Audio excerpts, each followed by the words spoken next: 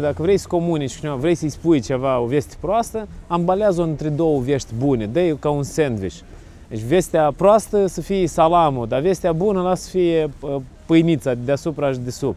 Neapărat începe cu ceva bun și încheie cu ceva bun. Între astea poți să-l critici un pic sau să-i dai și vestea proastă.